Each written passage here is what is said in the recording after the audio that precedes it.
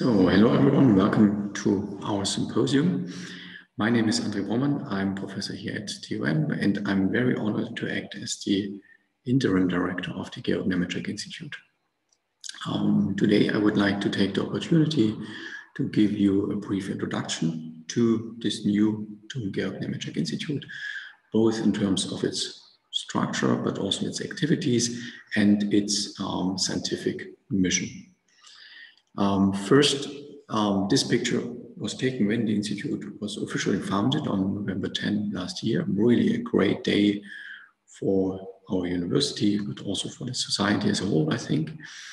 And I would like to thank Professor Georg Nemetschek personally for his impressive donation that will help us to advance the technology in this important field.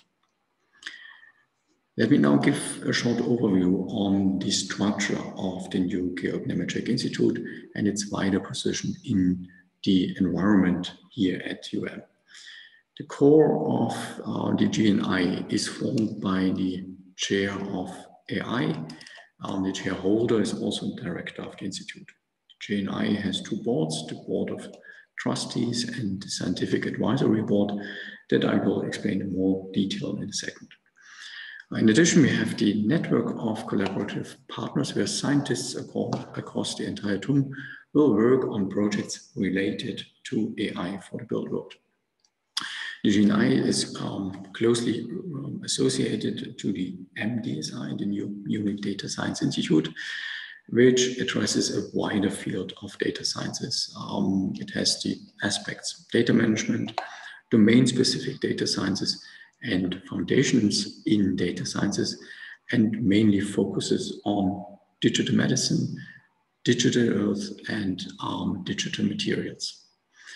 On the other hand side, we have the already existing Leonhard Obermeyer Center um, that focuses on digital methods for the built environment. It's composed of uh, the chairs architecture informatics, computation modeling and simulation, photogrammetry and remote sensing, geoinformatics, and construction process management. Um, there will be strong connections between these institutes, both in terms of people, but also in terms of scientific projects.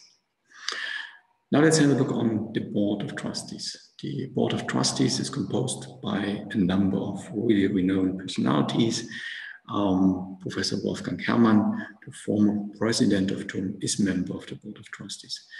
Then we have Professor Ernst Rank, who is the chairman of the board, and Professor Emeritus here at TUM. Um, Professor Ian Smith is also um, Professor Emeritus at the EPFL Lausanne, also member of the Board of Trustees. Then we have Professor Daniel Hall from the ETH in Zurich, um, Dr. Angelika Kneidl, uh, CEO of the TUM startup Accurate, and Dr. Axel Kaufmann. Um, as a guest uh, from Nemetschek, he is spokesman of the executive board of the Nemetschek Group. The Board of Trustees has um, the task to oversee the activities of the GNI. It advises the Institute on all general scientific, organizational, and technical aspects and most importantly, it approves the funding decisions for the interdisciplinary projects.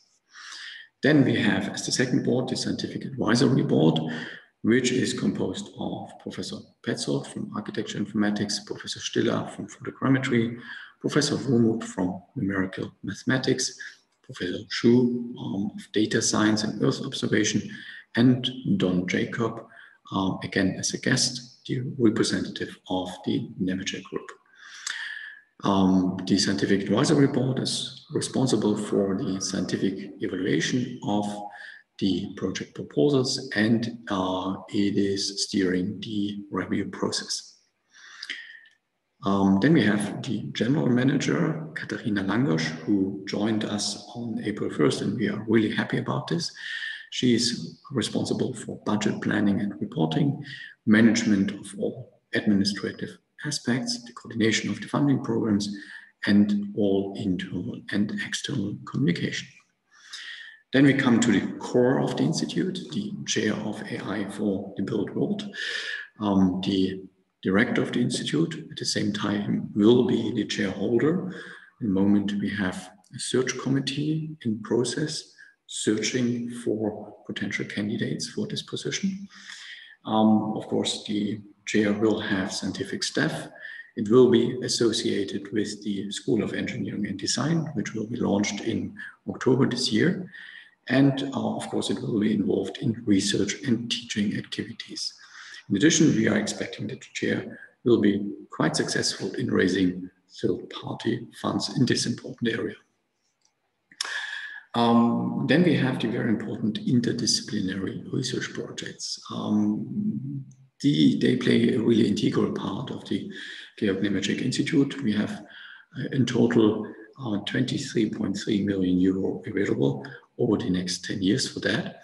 Um, the projects are meant to foster the collaboration between scientists from different fields, from computer science and mathematics on the one hand side, and scientists from the built world on the other hand side, namely architecture, civil engineering, and geodesy. Um, these scientists are supposed to team up in teams of different sizes, starting from two principal investigators up to six uh, principal investigators, where we then have um, larger, larger projects. Um, funding decisions are based on competitive calls. So we will have one call per year.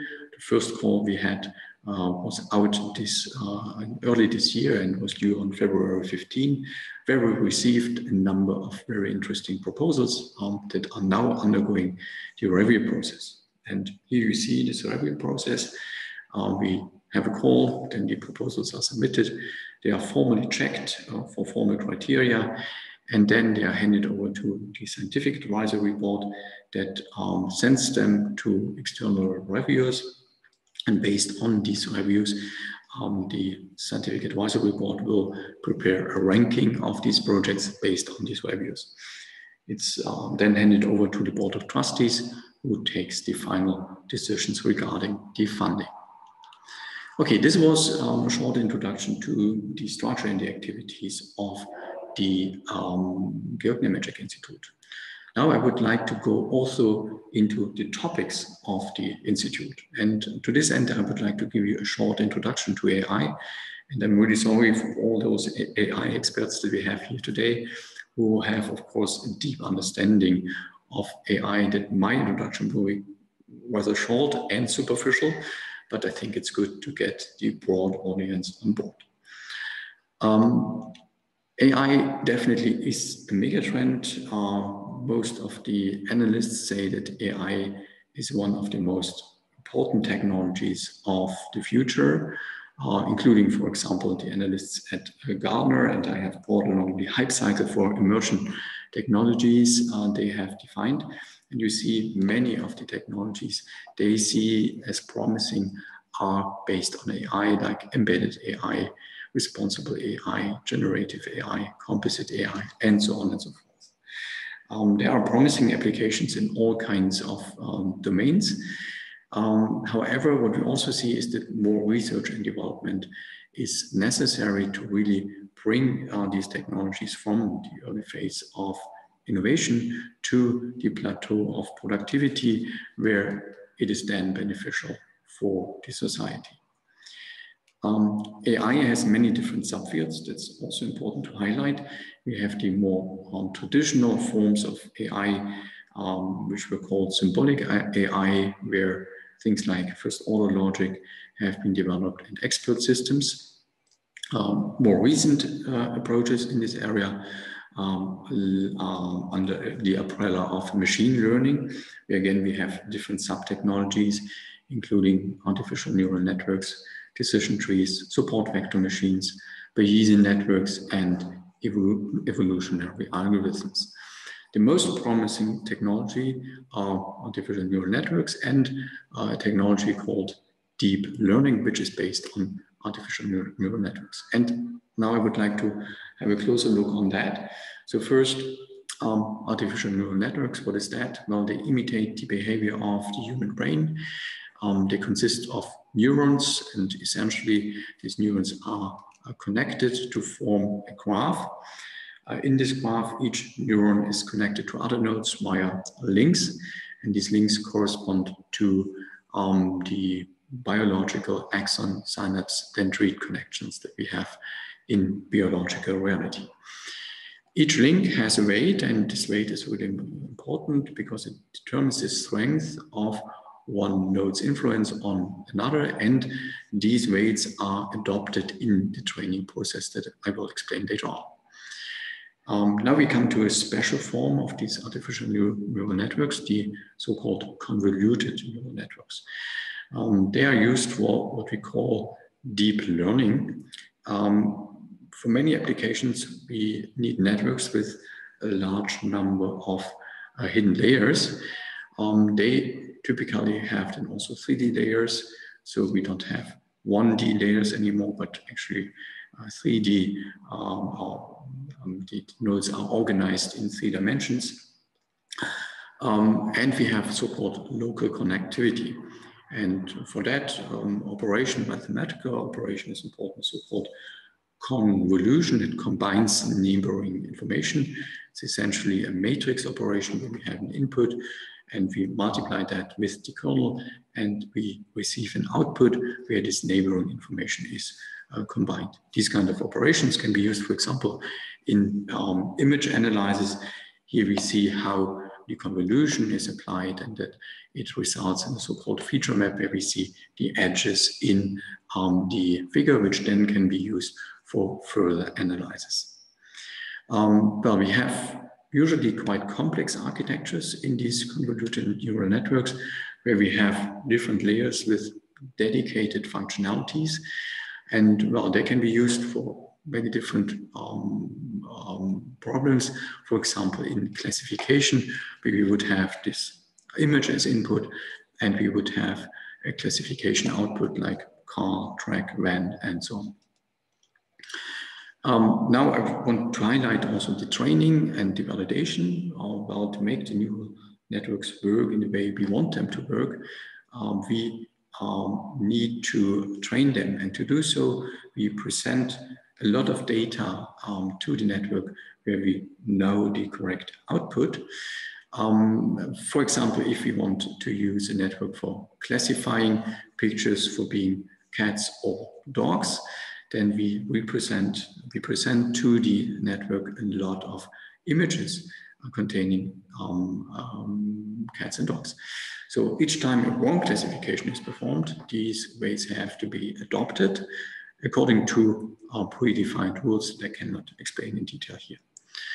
Um, we do that um, until we reach convergence, meaning that the network produces correct answers. Afterwards, we have to perform the validation, where we check that um, the uh, system works correctly and we check to which extent it works correctly. And this is important. We then use other data than what has been used for training.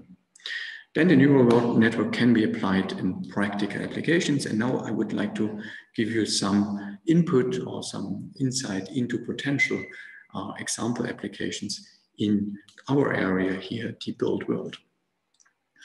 Um, one of the application areas um, that is very promising is digitizing the, six, uh, the existing built infrastructure. What is the background? The background is that a large part of the infrastructure uh, is already existing in the developed world. Um, the challenge is that we do not have um, digital models or digital twins for the existing um, infrastructure, but we needed to be able to manage it.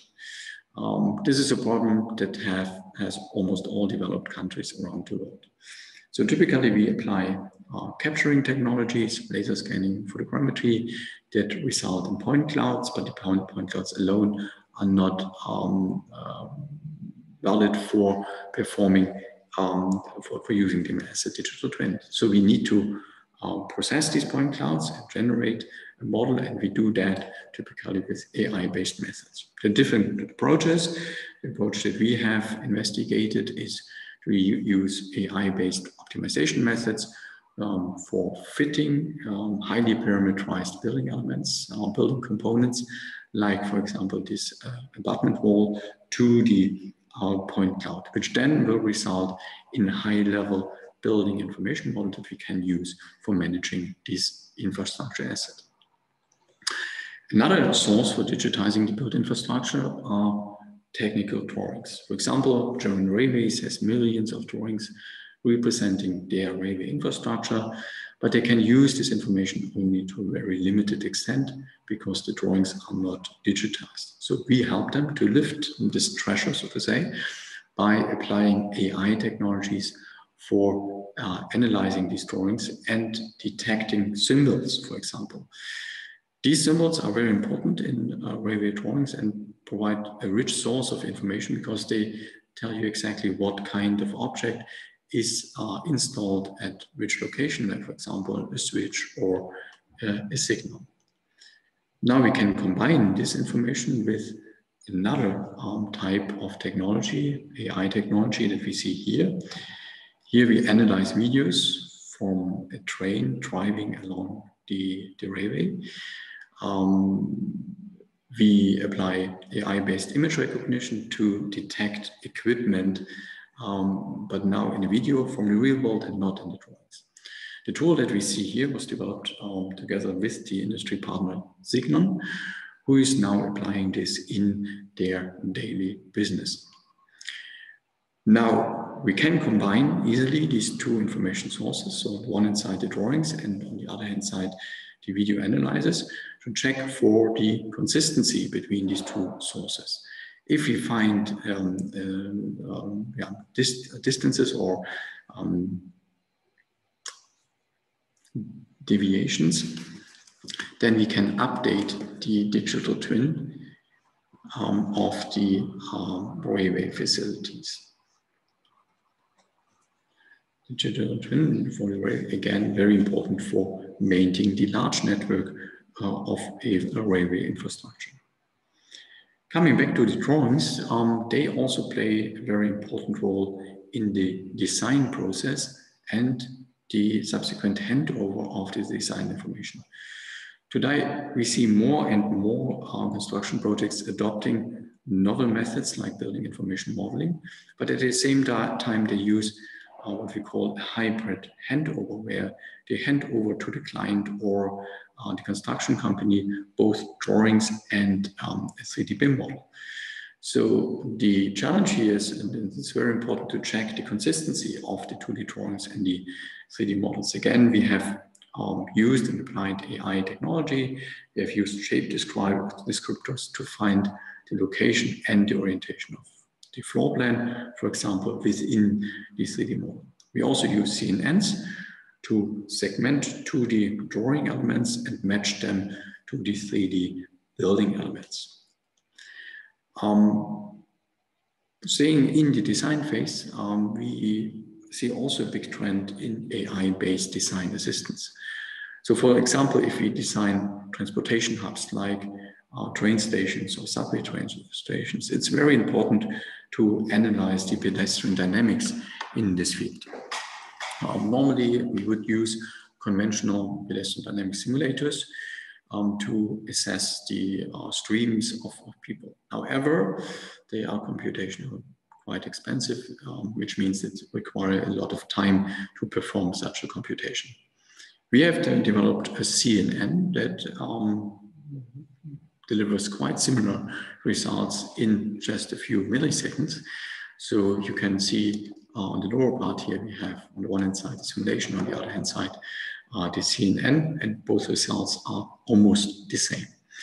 This enables then, of course, a real-time evaluation of different designs, uh, which allows us uh, to perform actually an interactive design of these uh, railway stations, which improves the design with respect to the pedestrian dynamics. Now we come from the design phase to the actual construction phase. And again, um, AI-based object detection can help us a lot. For example, to identify certain elements on the site, like for example, formwork elements or specific building elements like the columns that you see here on the right-hand side. When we combine this with a 4D BIM model, we can then automatically assess the progress of the construction project. Um, again, this can not only be done from images, but also from videos, uh, like this one, which was taken from a drone. Here we detect uh, formwork elements in an interactive manner. And this can help us to, for example, identify potential hazards on the site, which can make construction sites safer, just as one of the potential applications. This is also very much related to uh, our work related to site layout detection um, that we are performing on the basis of uh, photographs um, that are taken from airplanes or helicopters, aerial photographs. Um, here we have applied AI to detect construction sites, first of all, but then also get closer and identify the site layout by um, identifying cranes, building storage, build, the, building to be constructed in, in the storage space. Um, we do that uh, to perform learning by example and identify typical patterns of site, site layouts, which then can help future site managers to do a proper uh, layout um, of their construction site. And finally, we come to, um, to the handover to the operation phase. Um, the problem here is this um, currently um, as designed models to often not reflect the as-built reality. So there are deviations between design and as-built. Um, what we do is we typically capture the uh, building in point clouds, photogrammetry laser scanning. Um, the goal now is to perform a semantic segmentation, as this is called, um, to identify precisely the uh, deviations and update uh, the BIM model accordingly. Uh, to this end, we must identify not only uh, the parts that are different, but also their semantics, uh, namely walls, piping systems, slabs, and stairs, and so on. Uh, in this study that has been conducted together with the ETH in Zurich and Siemens, we use meshed point clouds and they provide a very good input for so-called graph neural networks that we could uh, successfully apply in this study. Okay, so I'm almost at the end of my talk. Let me shortly uh, give you a summary. Uh, AI offers very promising approaches for applications in various fields of the built environment. The available methods are manifold, but also the, the challenges that we have in the built world it's definitely a great field for research on multiple scales. Uh, but of course, we as researchers must be aware of the limitations. We always have to be um, yeah, kind of straight with the limitations. And we must be also be aware of the social implications. So that's the end of my talk. I thank you for listening and I look forward to a very interesting symposium.